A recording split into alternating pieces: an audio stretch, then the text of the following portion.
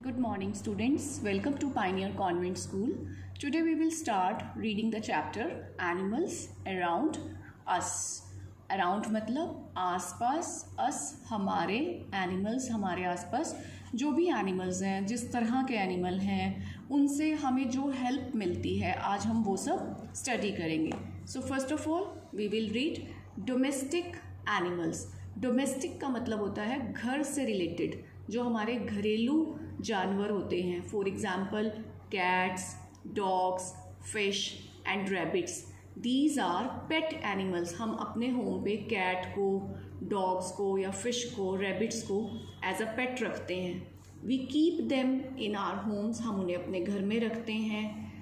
Pets help us in many ways pets help help करते हैं अस हमें इन मैनी वेज बहुत सारे तरीक़ों से। जैसे कि देखो dogs guard our homes dogs guard मतलब रक्षा करते हैं आर होम्स हमारे घरों की।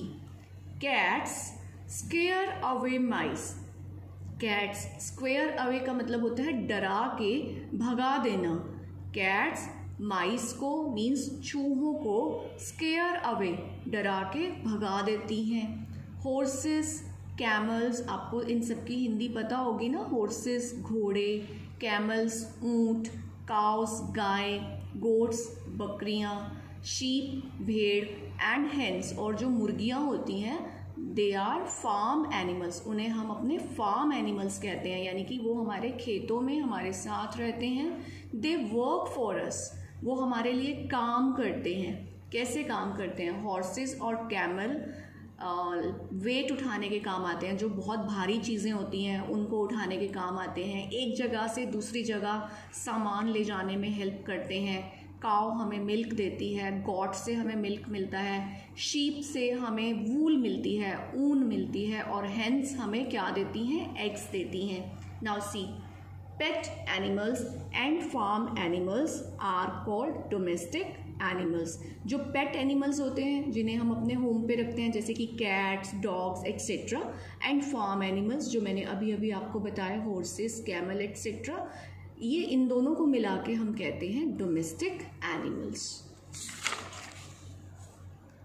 how animals are useful to us animals हमारे लिए यूजफुल कैसे होते हैं? We will see again number one they give us food वो हमें खाना देते हैं। कैसे खाना देते हैं? See cows buffaloes camels and goats ये फोर एनिमल्स हैं हु गिव अस मिल्क ये हमें मिल्क देते हैं।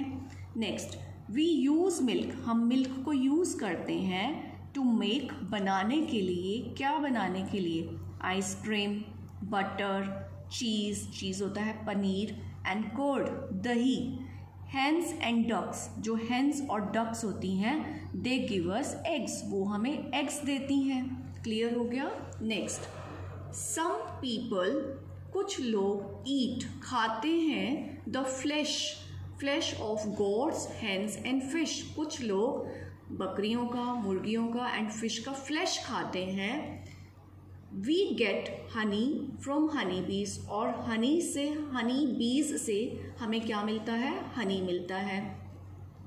This is honey bee honey bee एक बी हाइव बी हाइव होता है हनी बी का होम और इस होम से हमें मिलता है honey now they make our work easy जो एनिमल्स होते हैं, वो हमारे वर्क को ईजी बना देते हैं, आसान कर देते हैं। कैसे आसान करते हैं? लेट्स सी डंकीज गधे म्यूल्स खच्चर कैमल्स ऊँट हॉर्सेस घोड़े एंड एलिफेंट्स और हाथी। कैरी उठाते हैं हैवी लोड्स भारी चीज़ों को फोरस हमारे लिए। दे हेल्प अस वो हमें हेल्प करते हैं। ट्रैवल करने में from one place to another मतलब जब एक जगह से दूसरी जगह हमें यात्रा करनी हो तो ये एनिमल्स हमें हेल्प करते हैं। बुलॉक्स मीन्स बैल हेल्प करते हैं। फार्मर्स किसानों की टू प्लो देयर फील्ड्स उनके खेतों में हल चलाने में। ये देखो, ये बैल हैं एंड फार्मर है, जो खेतों में हल चलाने में ये हमें हेल्प करते हैं। हॉर्सेस एक जगह से दूसरी जगह सामान ले जाने में डंकीज वेट उठाने में और एलिफेंट भी भारी सामान को उठाने में हमें हेल्प करते हैं। दे टू हेल्पर्स और भी एनिमल्स हैं जो हमें हेल्प करते हैं। See we get wool from the fur of sheep sheep की बॉडी पे जो ये फर होती है, इससे हमें वूल मिलती है, ऊन मिलती है। वूल इज़ यूज़ वूल को यूज़ किया जाता है टू मेक वूलन क्लोथ्स सर्दियों वाले कपड़े, ऊनी कपड़े बनाने में वूल का यूज़ होता है सच एस जैसे कि sweaters shawls they keep us warm in winter जो स्वेटर्स होती हैं शॉल्स होती हैं, वो हमें विंटर में, सर्दियों में वार्म रखती हैं मीन्स गर्म रखती हैं. नाउ वी गेट सिल्क हमें सिल्क मिलता है। फ्रॉम सिल्क वॉर्म्स सिल्क के वॉर्म्स होते हैं। Silk thread is use silk का थ्रेड यूज़ किया जाता है टू मेक क्लोथ और उससे सिल्क क्लोथ बनता है। ये सिल्क वॉर्म होता है, एक तरीके का कीड़ा होता है।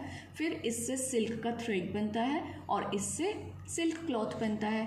जैसे कि शीप की फर से पहले क्या बना? वूल और वूल से बनती है sweater shawls etcetera another thing we get from the animal is leather leather is made leather को बनाया जाता है from the skin of dead animals जब एनिमल्स डेड हो जाते हैं तो उनकी स्किन उतार के, उसकी थोड़ी रबिंग पॉलिशिंग करके लेदर बनता है।